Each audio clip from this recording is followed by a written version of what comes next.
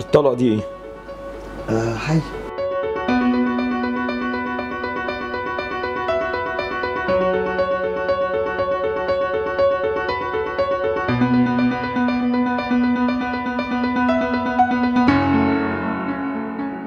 سنة ونص تقريبا. آه صورت آه كنت بصور اشتباكات.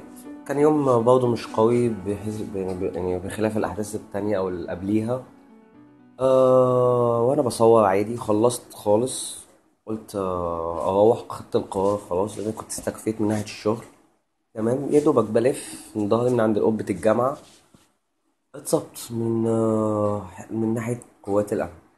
ودوني المستشفى مستشفى الطلبة ومن مستشفى الطلبة ودوني قصر العيني. تمام؟ آه عملوا لي أشعة وعرفت إن الطلقة مش ممكن تخرج. وصف الأطباء قبل الشريان الأورطي هابط وبين القلب. الدكاترة في ناس في دكاترة قالت لي أنا بعد الموضوع وما قالوا لي هتعيش بيها. في دكاترة كما كشفت قالوا لي إن ممكن تخرج بس العملية دي بره مكلفة.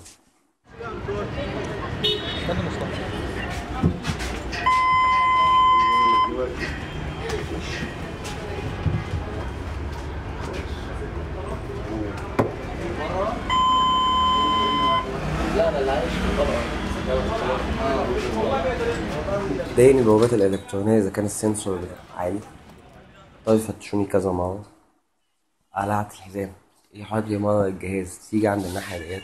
بتضم تمام؟ لحد مثلا ممكن أنا أحاول أنا أخدها بموقف مضحك شوية وأخليهم خالص كلهم يفتشوا ويدخلوني الأوضة كمان. وأقول لهم إن أنا في الآخر عندي طلع نوع من التحايل شوية. بحيث إن أنا برضه إيه ما بحبش أطول في الموضوع. بحيث إن أنا عايز أخش أخلص شغلي.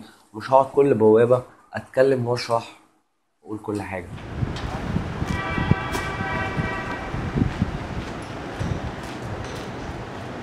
ومجلس الوزراء قال لي هنضمك من ضمن مصابيح الثورة وهنحطك في صندوق الثورة وجو وجولي مندوب تقريبا في اليوم ده أو في كام يوم بعديها بكام يوم تقريبا.